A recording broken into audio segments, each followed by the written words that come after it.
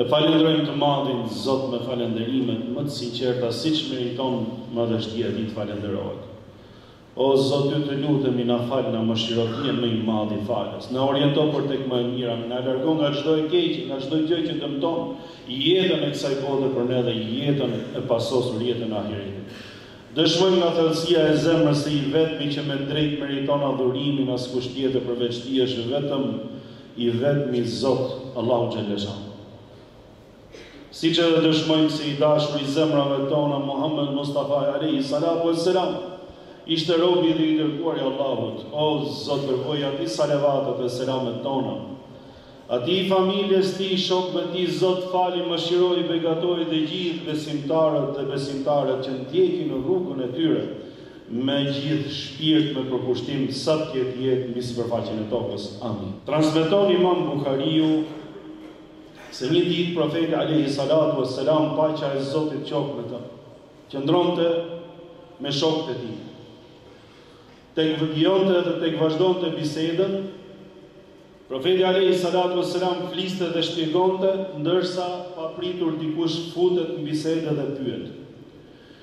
I pyet një pyetje t'çuditshme Profetit alejhi salatu ue selam dhe i thotë, Ja Resul Allah, meta s-saa, O i Dërguar i Allahut, kur do të bëhet Kiameti? Kur do të jetë fundi i botës? Ne kemi në besimin tonë që kjo botë ka moshën e vet, ka jetën e vet, e në fund gjithçka shkëputet që të gjithë njerëzit kalojnë në ahiret. Atje është jeta e pasosur. Derisa ka diçka që quhet dita e Kiametit, dita e madhe, kur do të jetë kjo? E Profeti alejhi salatu ves selam vazhdoi bisedën, Derisa dikush mendoi nga të pranishmit se ai nuk e dëgjoi pyetjen, ndërsa dikush tjetër tha e dëgjoi, por nuk iu duk e rëndësishme dhe nuk iu duk e arsyeshme që t'i kthejë përgjigje, derisa e vijoi bisedën që kish nisur dhe pastaj kthehet përsëri tek pyetja, Profeti alejhi salatu ves selam dhe thotë, Ku është pyetësi që pyeti më parë? I tha, Unë, o i dërguari i Allahut.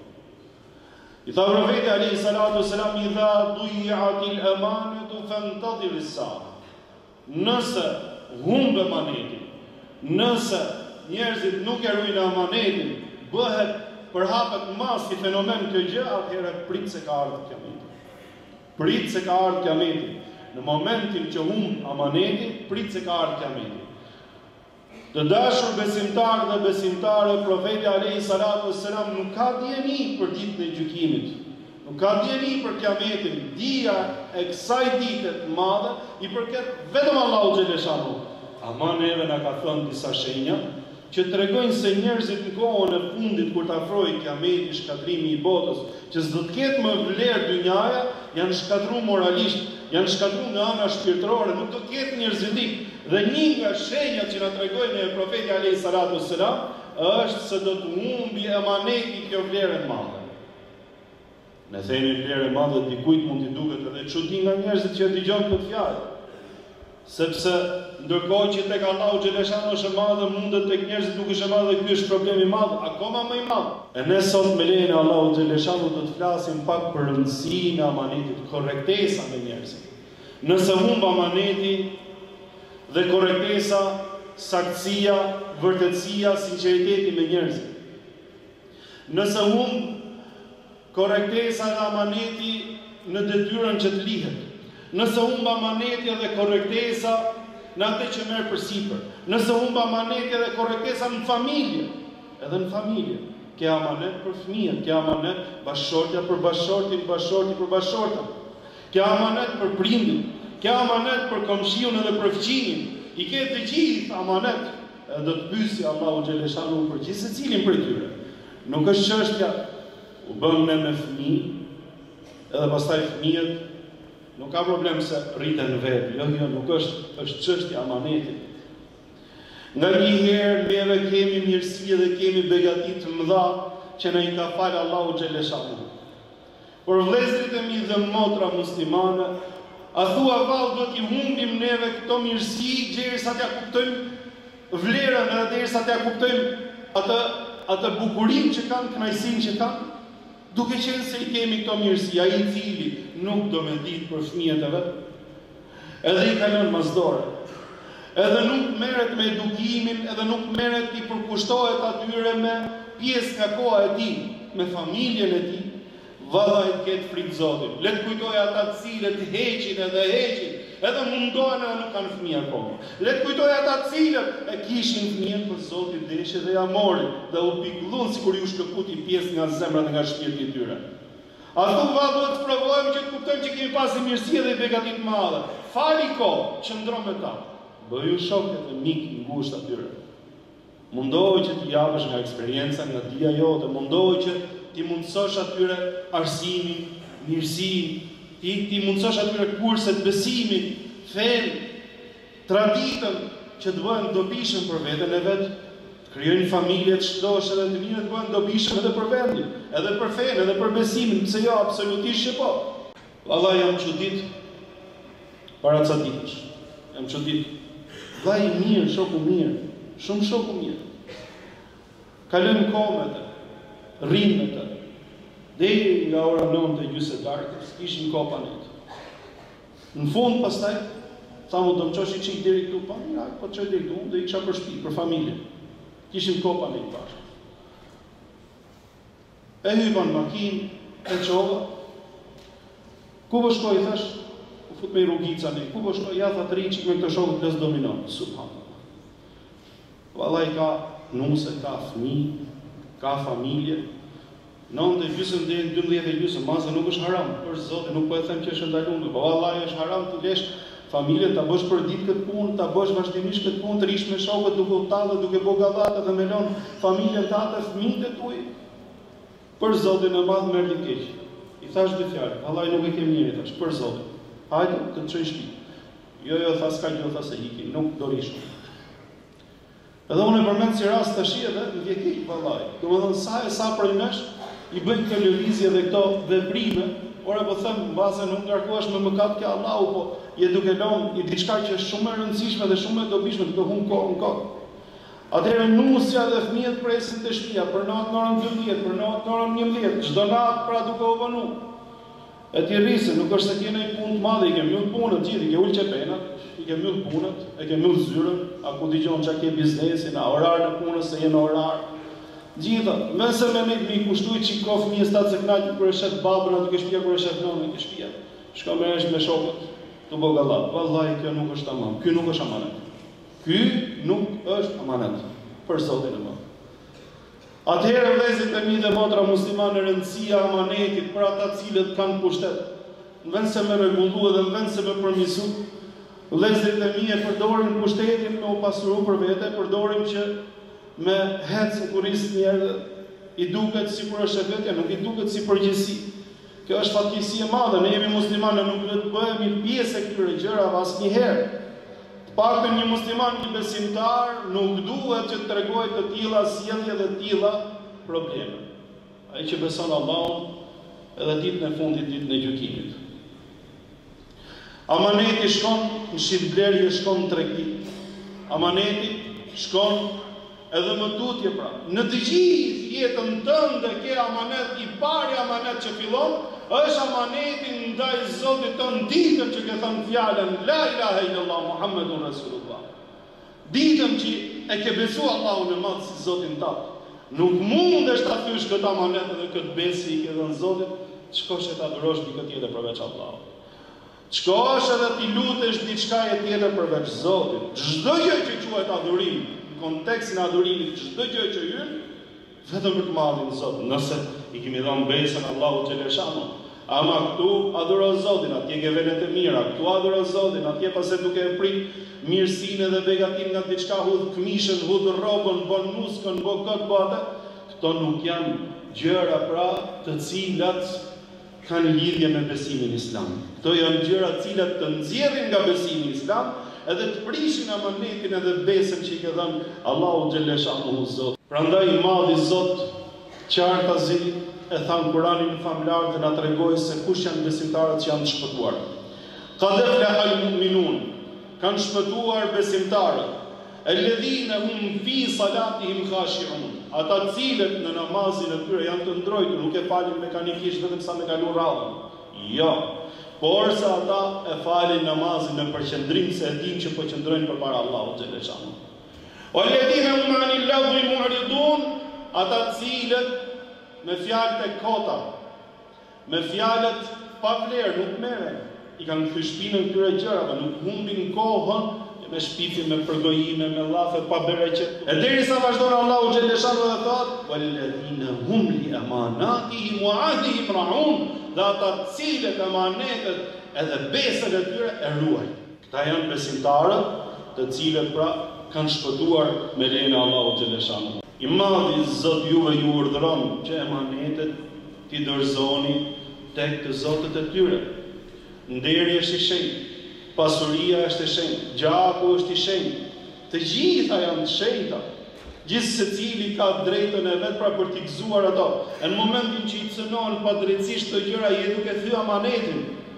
Dije se ngarkohesh me mëkat të madh. A ka mundësi që të jesh i sinqertë dhe të jesh i drejtë dhe të jesh korrekt me gjërat që i takojnë tjetrit? Kjo është amanet që e kemi ne para Allahut xheleshanuhu. Edhe është gjë për të cilën do të pyetemi përpara të madhit Zot. E nëse juve gjykoni midis njerëzve, thotë Allahu xheleshanuhu, gjykoni me të drejtë. Nuk ke pse mban anën e dikujt ose anën e dikujt për asnjë lloj arsye. Kushdo qoftë, qofshin edhe të afërmit e juaj, thotë, thotë Allahu xheleshanuhu në Kuranin Famëlartë, Jini të drejtë në gjykim, sepse kjo është ajo që don Allahu xheleshanuhu, drejtësia nuk duhet të humbi kurrë. Ndërsa Profeti alejhi salatu ue selam aq fort na foli dhe aq shumë na përmendi ne, edhe na përkujtoi për amanetin, na nxiti që të jemi korrekt me amanetin edhe me besën, Saqë e tha në hadith në thënien e tij që ka mbetur e regjistruar, profeti alejhi salatu wassalam, la iman liman la amanata lahu wa la din liman la ahd lahu. Nuk ka besim ai i cili nuk ka amanet.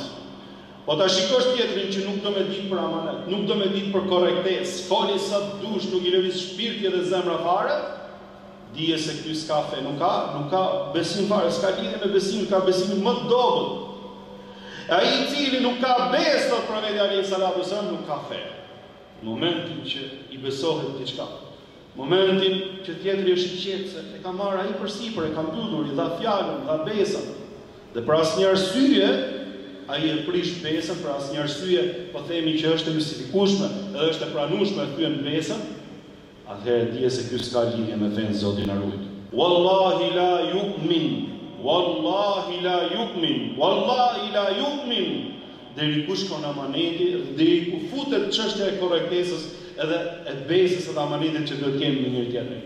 Thotë profeti alejhi salatu wassalam, Vallahi thotë nuk beson, vallahi nuk beson. Vallahi nuk beson. Kush?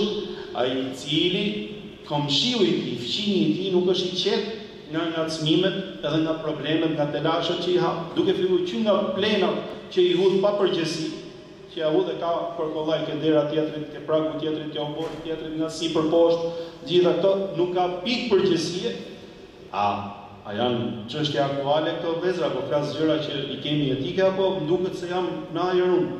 Jo vallai jan aktuale. Për Zotin e Madh jan të përditshme kjo është feja jonë. Kjo është feja jonë dhe ky është besimi jonë. E jo pastaj sherret, debatet, hilet, mashtrimet. Hëngra e hakut, shtyrja e kufirit, marrja e pronës, e duke i marrë pra atje duke e shkel me kam, sepse ti je më i fuqishëm, ti njef më shumë, ti mund të depërtosh edhe mund të çash, ndërsa ai tjetri është i dobët, në vend se me iu bo krah, i shfrytëzon dobësinë, edhe i shfrytëzon pafuqinë, ose, ose, ose prioritetin, edhe epërsinë që ke ndaj tij, që t'i bësh zullum, zoti na rujt edhe zoti na faltë. Një ditë, Profeti alejhi salatu ves selam hyri në treg o tregtar o tregtar profeti alejhi salatu ves selam hyri në treg në tregun e Medines dhe shikon dikë që po shiste drith e futi dorën ke thesi i drithit e futi dorën ke thesi i drithit dhe pa që drithi sipër ishte shumë i mirë ndërsa poshtë ishte i lagur e në momentin që drithi laget ai që merr vesh prishet Atëherë profeti sa sëmë u, u mërzit, u mërzit shumë, u hidhëru shumë, e shfaqi në pamjen e tij, dhe i thotë, pse thotë nuk e ke hap drithin tamam që ta shofin njerëzit cilësinë e tij, po ke vënë të mirin sipër, ndërsa poshtë e ke mshef të keqin, po i dërgumi i Allahut, tha po s'ka problem, duke u justifiku me gjëra koti, i thotë, men gashena felejse mina, ai i cili na mashtron ne nuk është prej nesh, Ai i cili mashtron muslimanët, nuk është prej tyre. Ai i cili bën hile te muslimanët, nuk është prej tyre. Ai i cili bën pisllëqe te muslimanët, nuk është prej tyre. Ai i cili i gjen rastin me i bë manovra muslimanëve, me i shtri kollare dhe me i bë gjëna pra nga më të ndryshmet se si me përfitu me i mashtru, vallahi bilahi, pasha Allahun, nuk ka lidhje me këtë punë, se e ka thënë Profeti alejhi salatu ves selam. Mos me hy pastaj tek prodhimet që bëhen, dëgjini këta, ato prodhime që bëhen fallca se sy ty të rre që ta nxjerrësh një çik prodhimin dy ditë më para në pazar edhe në treg, që ta ta shesësh me me pesëqind lekë ose me treqind lekë më shumë kilen e perimeve, zarzavate apo frutave edhe ke fillu duke i bë domethënë ato me me ilaçe nga më të ndryshmet pa përdor asnjë lloj teknologjie që të jetë tamam e lejume dhe të jetë diçka pra e sigurt për konsumatorin, pa përdor asnjë lloj shkolle, asnjë lloj njohurie, vetëm kap që të rritet të bëhet e madhe, edhe që të bëhet e bukur, që ti të shkosh edhe të fitosh më shumë lekë, edhe duke i bë gjërat pra të dëmshme për konsumatorin, për njerëzit që do i blejnë. Vijnë i blejnë ke ty, i shohin të bukura, i shohin të mira, mase edhe kanë besim se ti je besimtar. Qumështin kur e përzi, atë që e përzi, mallin kur e përzi, ore çdo lloj gjëje, çdo lloj gjëje që prishet, që tjetri e merr për të saktë dhe ti e shet me hile.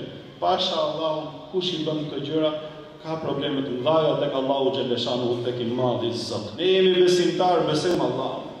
E në qoftë se ai që beson Allahun i bën hilet dhe i bën mashtrimet, Ç'a lidhje ka ai me besimin edhe ç'a ndryshimi ka nga ata të cilët nuk e besojnë Zotin edhe nuk besojnë ditën që do t'i pyesi Zoti?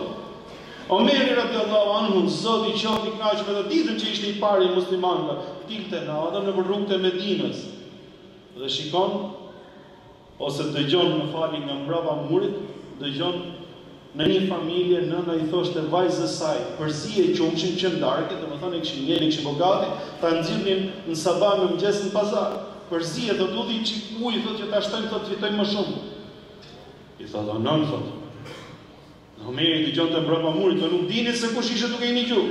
O nënë, thotë, a nuk na ka ndalu neve i pari besimtarëve Omeri me e bo neve këtë punë, këtë hile? E të keqen nëna, thotë, është notë, thotë, ku është Omeri e ku jemi ne? Nuk po na shef Omeri ne tashi. I thotë, po mirë nënë, thotë, nuk na shef Omeri. Po Zoti i Omerit neve a nuk na shef? U mallëngjye Omeri radijallahu anhu Zoti qoftë i kënaqur, nga këto fjalë, nga nga devotshmëria, nga besimi i kësaj vajze. Edhe nga u çudit nga nga edukata ose nga nga hilja që po i mësonte prindi fëmijë, sot prindi ju që keni fëmijë mos i mësoni fëmijët me hile. Imagjino në vend se nona me i bo fjalë dhe me i tregu fëmijës se kush është e sakta, nona e shtyte me bo hile, ndërsa fëmija I thote non s'duhet me bo hile, subhanallah. Allahu ekber. Ku janë ata prind të cilët i orientojnë mirë fëmijët e tyre me punu ashtu siç duhet, merre fëmijën fute n'punë, inshallah t'ka dhënë Zoti pasuri. Shtije ta provojë punën një çik, ta shofi se si fitohet, se si fitohet pasuria dhe të mësohet me punë, të jetë i ndërgjegjshëm që nesër kur të jetë shef i madh ose kur të jetë drejtor. Ai ti Mos ti shkeli me këmbë punëtorët, po ta kuptojë se sa vështirë fitohet leku dhe sa vështirë është për ata të cilët ushqejnë familjen me punën e krahut. Merre, nuk ka problem. Ama mos e mëso që të jetë zullumqar. Mos e mëso që të bëjë hile edhe që të bëjë mashtrime, mos e mëso që ta ketë n'gen mashtrimin, Zoti na rujt.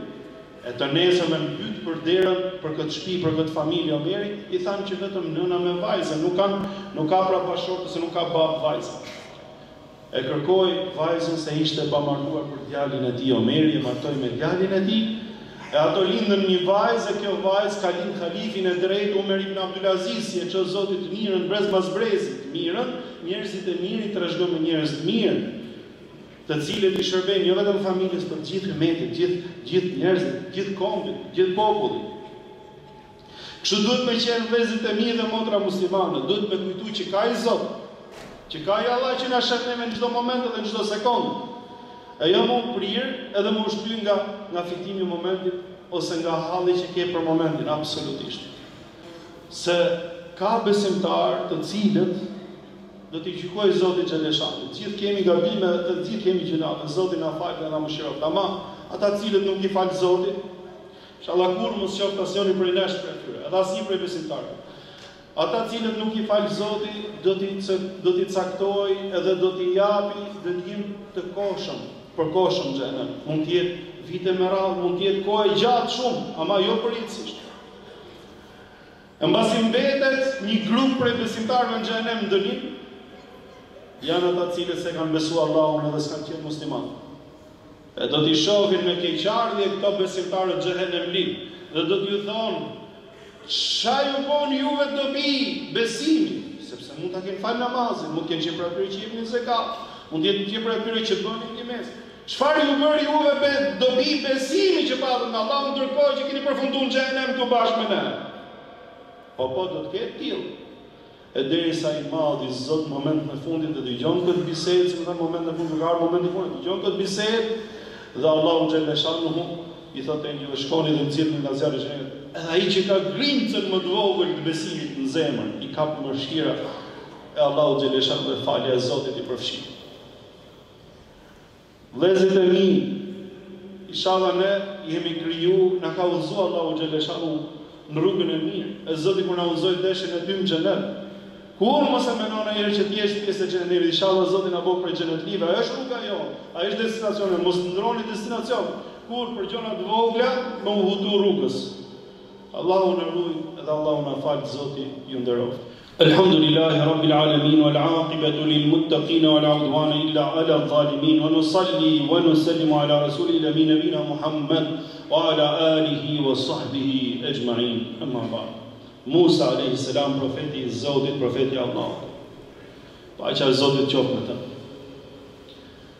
Siç e tregon i madhi zot në Kuranin famëlartë kur dy vajzat e profetit Shuaib ishin tek burimi dhe nuk mbushnin dot ujë vetëm i kërkuan Musait alejhi selam që t'i ndihmojë të mbushin ujë